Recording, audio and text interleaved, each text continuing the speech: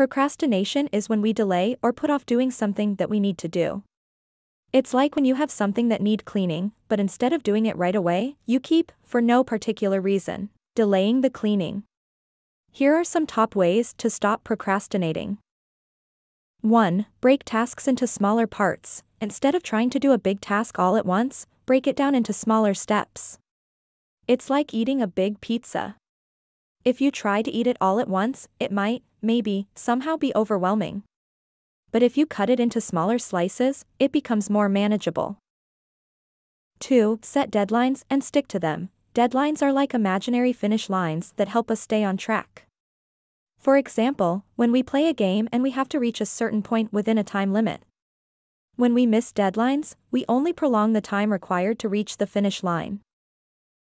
3. Remove distractions. Sometimes we get distracted by things like toys, TV shows, or playing with friends. Try to find a quiet space without these distractions so you can focus on your task. It's easier to concentrate in a quietness.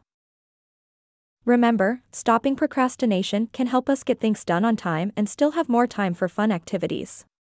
You can now utilize these examples to move forward.